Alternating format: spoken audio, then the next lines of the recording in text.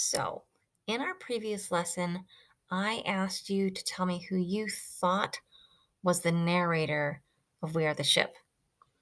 And I know you found it a little bit frustrating. You're like, I can't tell. I don't know who's telling the story.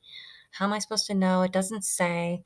So I'm going to share some information um, from an interview with Kadir Nelson and give you more of a hint about who the narrator is. So pay attention and be listening for who um, he says is his narrator.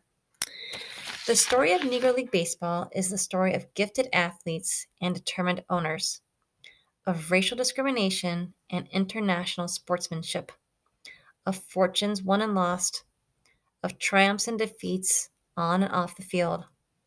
Most of all, the story of the Negro Leagues is about the unsung heroes who overcame segregation, hatred, terrible conditions, and low pay to do the one thing they loved more than anything else in the world play ball.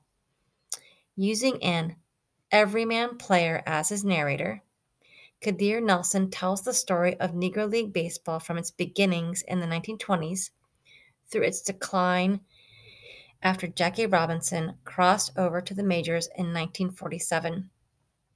The voice of the narrator is so authentic, so real, you will feel as if you are sitting on dusty bleachers, listening intently to the memories of a man who has known the great ball players of that time and shared their experiences. But what makes this book so outstanding are the dozens of oil paintings, breathtaking in their perspectives, rich in emotion, and created with understanding and affection for these lost heroes of our national game. We are the ship is a tour de force for baseball lovers of all ages.